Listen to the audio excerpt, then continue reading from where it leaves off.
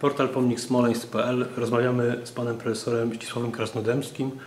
Na początku rozmowy chciałem panu profesorowi przekazać e, na pamiątkę tego spotkania e, wiersze Romana Misiewicza e, dobrenowiny.pl z dedykacją od redakcji naszego portalu, który jest sponsorem tego wydawnictwa, mm, sponsorem medialnym. Proszę bardzo na pamiątkę. Panie profesorze, pierwsze pytanie. Jak pan wspomina moment, kiedy dowiedział się pan o, o tym, co stało się w Smoleńsku?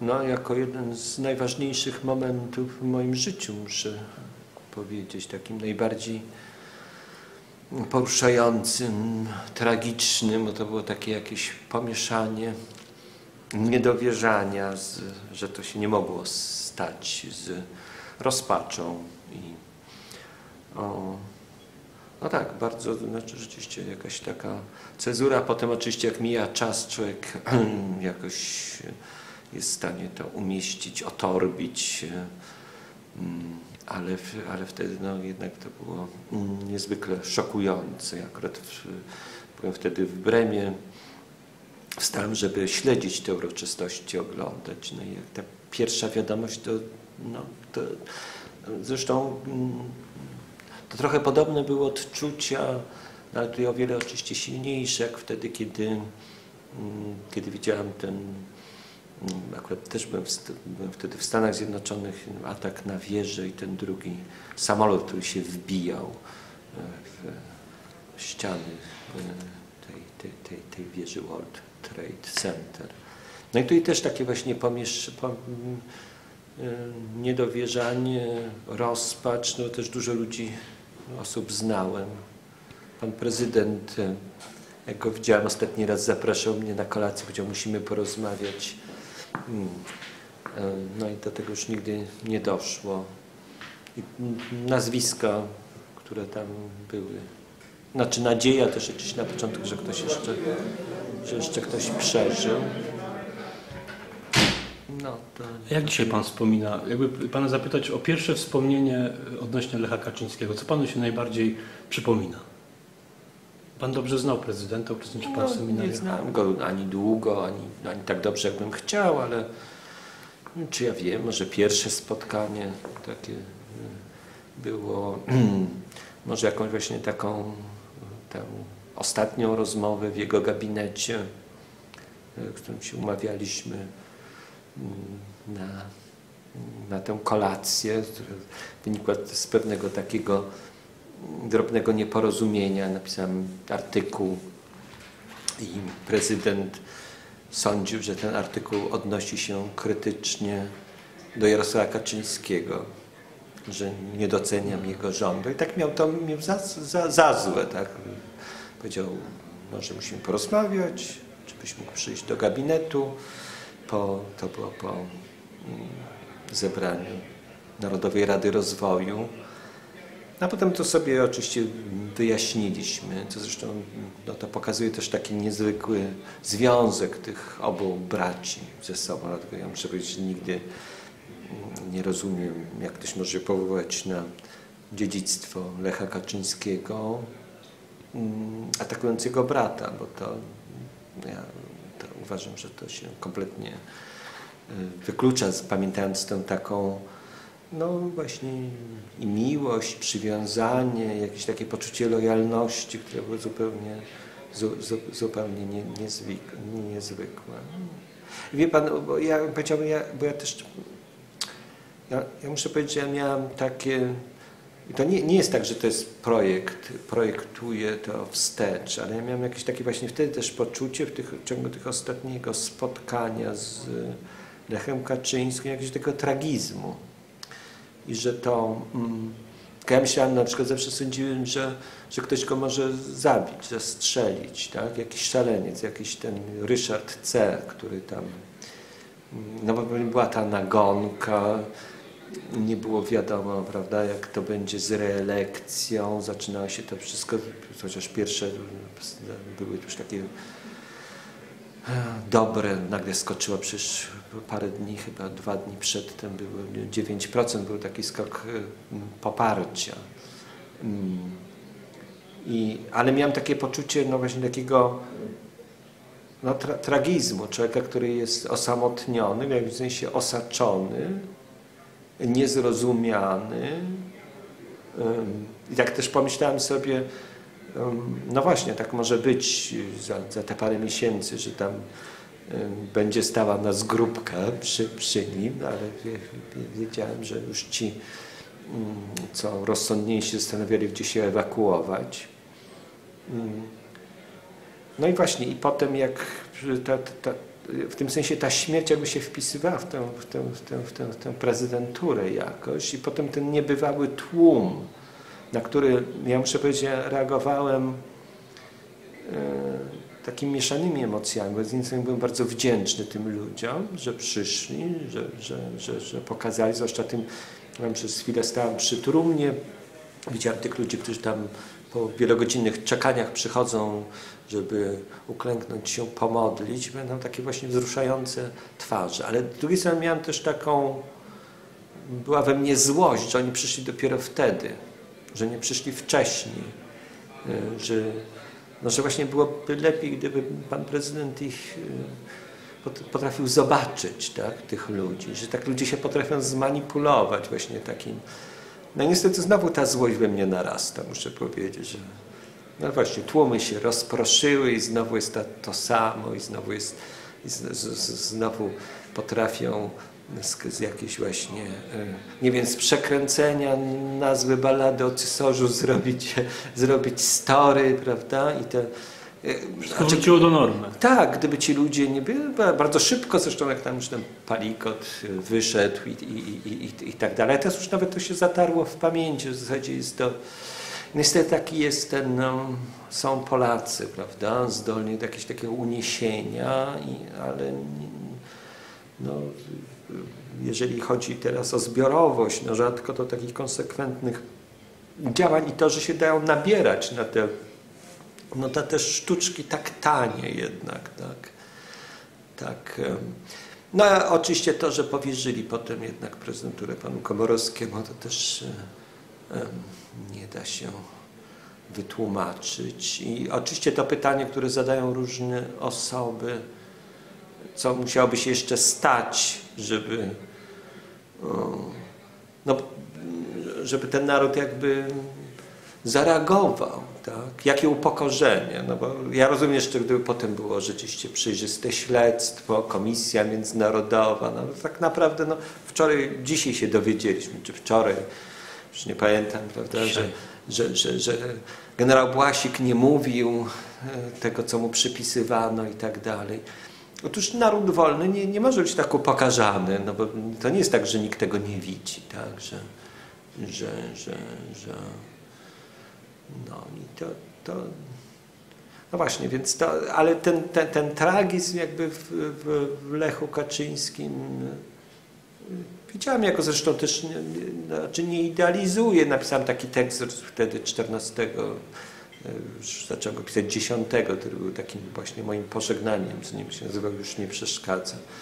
Do tej pory wywołuje. I tam mówiłem też o takich rzeczach, o, no właśnie, ponieważ wielkość człowieka, no nie, nie wiem, no, ja mam takie poczucie, że był wielkim człowiekiem i mm, wielkość człowieka nie wyraża się wielkości jego postury, jest to wielkość historii, y, jest człowiek wielki ze swoimi wadami, słabościami, ale dzisiaj widzimy, że jednak to był prezydent wolnej Polski, no, jedyny. A jak pan ocenia zmianę jakościową na stanowisku prezydenta z perspektywy tych dwóch lat? Po pierwsze, no jest to, mm, jest to prezydent, który nie odgrywa żadnej roli politycznej. Tak? Znaczy on odgrywa rolę polityczną w tym sensie, że usiłuje jakoś tam własny, mm, własny obóz trochę we, wewnątrz zbudować. Ani, no nie jest tak, że prezydent prowadzi jakąkolwiek politykę zagraniczną, ten prezydent Komorowski. On jest dosyć taki po pierwszych wpadkach, gdzie wszyscy się niby jednak przyzwyczajeni, to zawsze jest trudny okres. Teraz się trochę, myślę, ludzie z nim oswoili. Natomiast jest to człowiek no, kompletnie nie, nie mający ani nic oryginalnego do powiedzenia, ani nie. Mm, mm, ja już, ja już pomijam jego zachowanie y, przedtem w czasie prezydentury Lecha Kaczyńskiego, sposób obejmowania władzy, sposób rozwiązania tego konfliktu o krzyż, te, te, te, te tablice. No, nie, jak pan wie, toczy się w Polsce teraz taki spór o, między realistami mm, a zwolennikami drugiego obiegu. I no, ja jednak ja uważam, no, czy ja akceptuję z bólem serca ten, tę decyzję narodu. No tak naród wy, zagłosował, prawda? Wybrał. Nie, wybory nie zostały sfałszowane. No, te, te, te, te, tym gorzej. No, w tym sensie oczywiście jest to legalna prezydentura, no, ale to jest to, to, to jest to wszystko, co mogę, co mogę powiedzieć.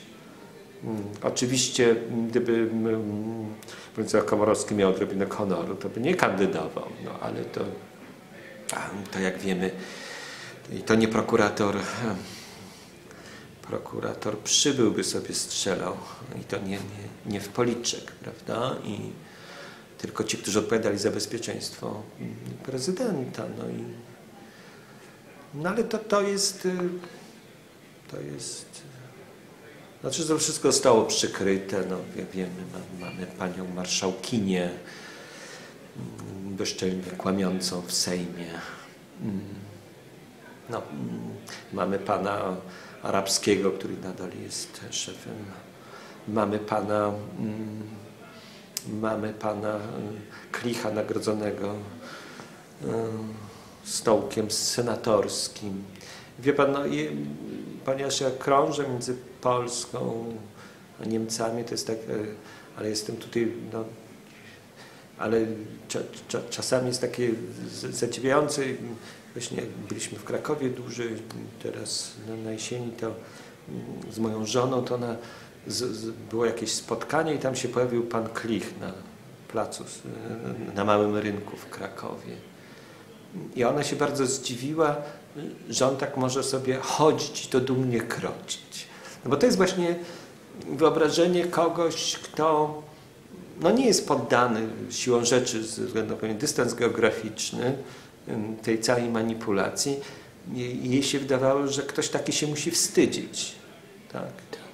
No, i, i tak naprawdę powinien się wstydzić. No i to, ja bym powiedział, wstydzić się powinni ci, którzy go wybrali. No, ale to, I taki Kraków, no takie właśnie miasto się chodzi po tych ulicach, takie ładne ulice i potem no, miasto, no jednak ci Krakusi, krakowianie wy, wy, wybrali ko, ko, kogoś takiego. No, jakby. No i tak dalej. No i jeszcze ta cała kompromitacja w związku z tym, z, tym, z tą Putinadą, tak? to znaczy to, co światełko dla Sowieta zapalone przez pana Wajda. Muszę powiedzieć, że w tym momencie, nigdy tego nie zapomnę, to straciłem resztki szacunku dla tych ludzi. Nikt mnie niech przekona, nawet niech na, nakręci arcydzieło że, że, że, że, rzeczywiste o Lechu Wałęsie. To, to tak naprawdę. To jest tego, tej daty 10 kwietnia 2010 roku obejść się nie da.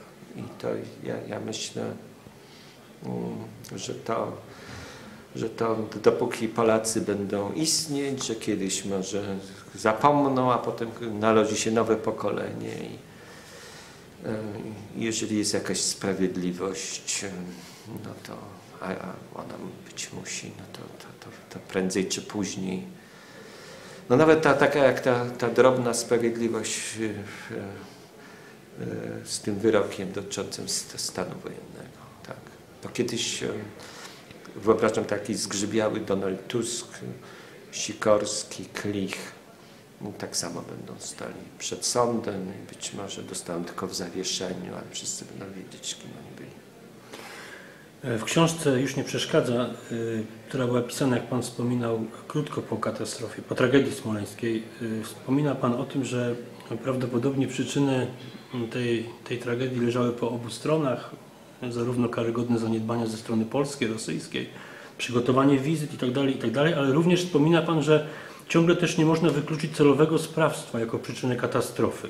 E, to było pisane krótko po tym, co się stało. Jak z perspektywy tych dwóch lat pan profesor ocenia to? Czy pana pogląd się zmienił, czy nadal... No wie pan, to, to jest tak, że jak coś takiego dzieje, a spotyka to takiego polityka, który prowadzi taką politykę jak prezydent Lech Kaczyński, to nie jest tylko tak, że to ja, tak? Tylko w zasadzie wszyscy, no moi znajomi, Niemcy, którzy nie znają, sąsiedzi, wszystkim przychodzi do głowy takie pytanie, no, czy nie jest to zamach, tak? I wtedy znaczy, uderzające było w tych pierwszych godzinach w zasadzie, znaczy, od początku było wiadomo, od początku już była ustalona wersja, tak? co, co się stało. Trzykrotne lądowanie było wiadomo, już, już jakby to było wiadomo i że nikt nie był w stanie nawet tego powiedzieć, tego za, zanegować, bo ja też przybywałem parę razy w Stanach Zjednoczonych, wiem, że jak coś takiego się dzieje, to zawsze jest jakieś zagrożenie, czy to jest burmistrz Blumenberg, czy ktoś, prawda? Jak się nazywa Bluberg, tak? No już wszystko jedno, prawda? Że wychodzi się że wychodzi się i mówi się przede wszystkim się ten, prawda? Znaczy, że nic nie wskazuje na zamach terrorystyczny. Tak, potem się mówi, potem się przechodzi do, do innych rzeczy. Otóż, znaczy, to był lęk. Ja, o, ile, pamiętam, to chyba pierwsze teraz to padło w tym programie, który Jan Pieszalski zrobił, którym byłem razem e, z o, panem Gwiazdą, kiedy myśmy w ogóle to, to pytanie zadały, a, lu, a ludzie już mówili o tym, prawda? Bo to było to, to, to pytanie, które się tam cisnęło na usta, a, a nie było za, za, za, zadawane w mediach. No dzisiaj też oczywiście wiemy znacznie więcej niż, niż wtedy. I dzisiaj mm, ja śledzę na tyle, na ile mi moja wiedza y, pozwala, ale to na przykład, co ostatnio zaprezentowali ci eksperci zespołu parlamentarnego kierowanego przez pana Macierewicza, no, brzmiało bardzo mocno. Ja muszę powiedzieć, że ja wszedłem też na strony internetowe tych uniwersytetów. No, nie, nie, nie, nie mogę ocenić tego pod względem fachowym, natomiast jest pytanie, czy te osoby są wiarygodne swoją biografią naukową i tak dalej. I teraz ja uważam, że oni oczywiście się mogą mylić, tak? mimo że te różne zespoły pokazują w jednym, no, że ta zderzenie z tą brzozą nie, nie, nie mogło być przyczyną, że, że gdyby skrzydło od, odpadło tam przy tym zderzeniu, to by leżało gdzie indziej, no i tak dalej, prawda, że sam samolot prawdopodobnie na wyższej wysokości.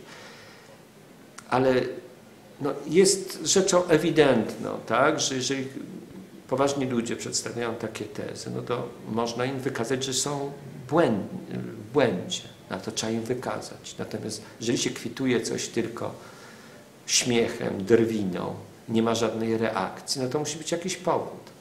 Jeżeli się mataczy w śledztwie, bo to śledztwo to było, to było jedno mataczenie z obu stron i to dzisiaj wiemy, prawda, z polskiej, po, taś, po taśmach klichów, yy, i po różnych innych e, e, wiadomościach, no to, to, to, wtedy powstaje pytanie, no to dlaczego?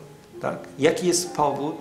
No gdyby tak było, że rzeczywiście i rząd polski, i rząd rosyjski były zainteresowane, a przecież tak naprawdę to powinno być w żywotnym interesie Rosjan, żeby nikt o tych nie, nie podejrzewał. No to powinni zrobić. No, to, to, przynajmniej to, co Niemcy zrobili, jak odkryli Katyń, prawda? Mhm. I tego nie, nie zrobili, wręcz przeciwnie. To jest pytanie, pytanie dlaczego. E, dzisiaj wiemy na przykład oczywiście, że samolot był źle naprowadzany, więc ta część winy rosyjskiej jest jakby bez, e, już jakby udowodniona e, to, to, to, nie ulega wątpliwości. No tylko jest pytanie, no i co z tego? No i a, a, kiedy będą oskarżeni, postawieni w skarze, oskarżeni? No to jak przygotowano wizytę ze strony polskiej jest jakby też oczywiste, tak? Mhm. Ja uważam, że tutaj nawet nie ma żadnych...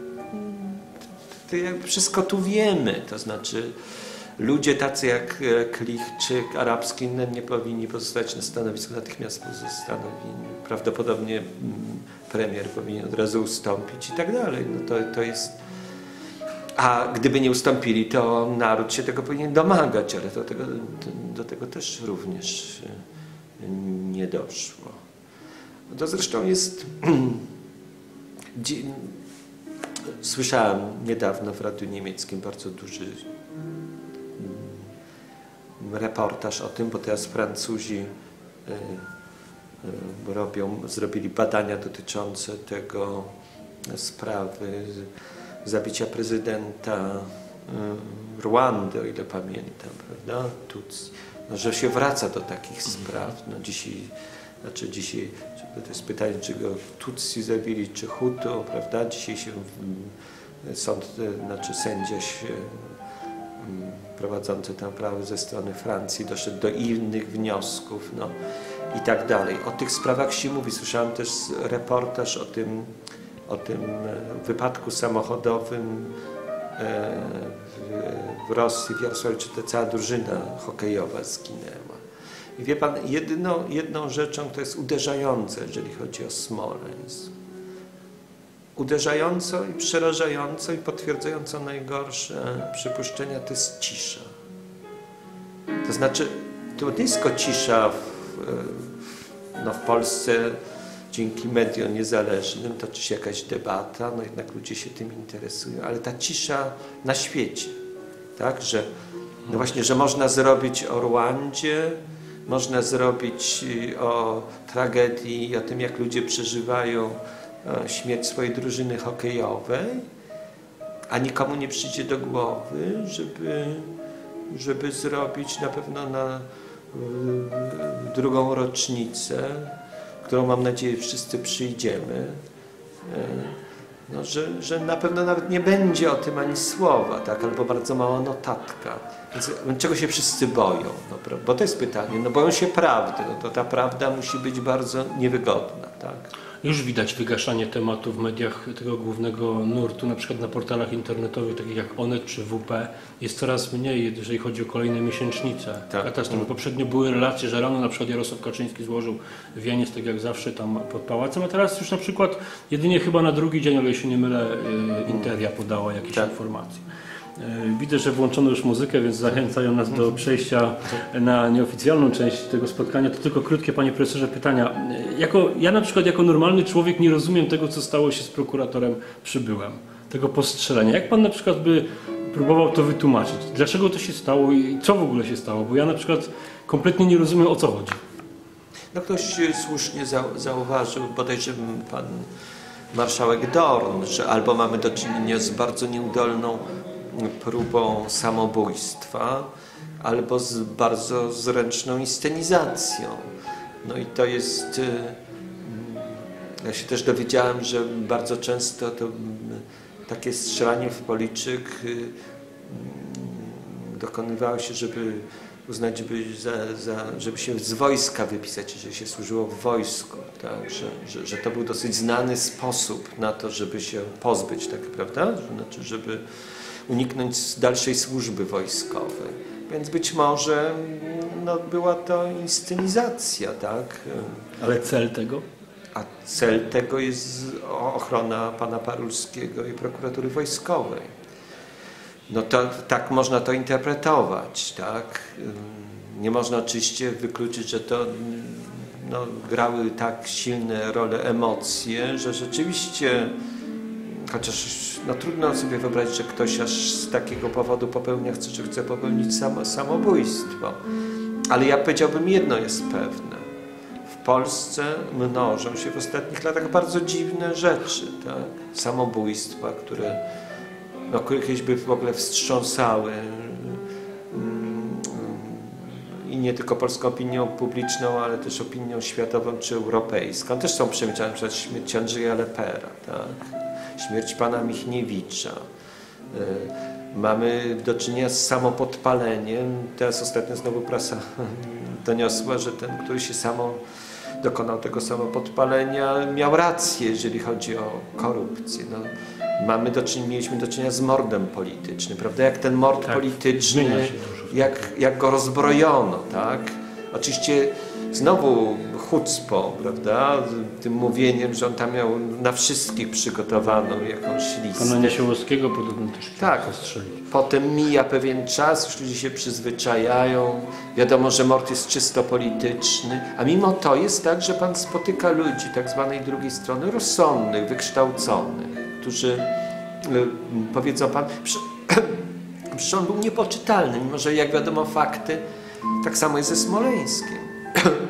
kiedyś rozmawiałem na jakiejś konferencji z bardzo sympatyczną, inteligentną mm, panią, która jest adiunktem na jednym z uniwersytetów i ona wyznała, znaczy w czasie kolacji mówiła, że bardzo boi się latać, jeszcze po Smoleńsku jeszcze bardziej się boi latać, że, to jest...